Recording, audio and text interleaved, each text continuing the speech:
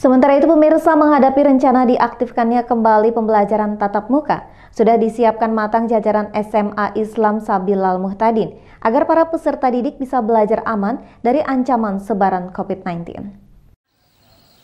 Sekolah Menengah Atas Islam Sabilal Muhtadin di Komplek Malkon Temon, kawasan Sultan Adam, Banjarmasin, sudah siap memulai pembelajaran tatap muka yang direncanakan diaktifkan kembali tahun depan.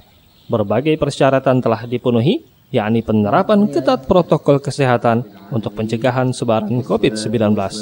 Semua peserta didik akan bersekolah lagi seperti biasa, namun jumlahnya dibagi persip agar satu ruang kelas bisa menjaga jarak, termasuk belum dibukanya kantin sekolah guna menghindari kerumunan.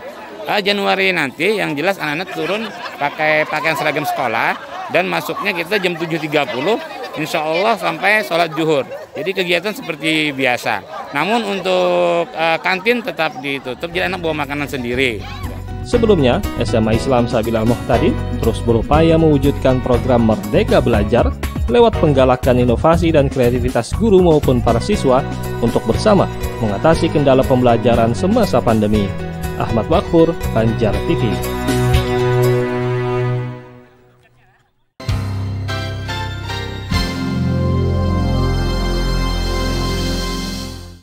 Pemirsa, ikutin terus ya update berita Banjar TV dengan cara subscribe channel ini dan nyalakan notifikasinya. Oh ya, like juga video-videonya, comment and share. Terima kasih.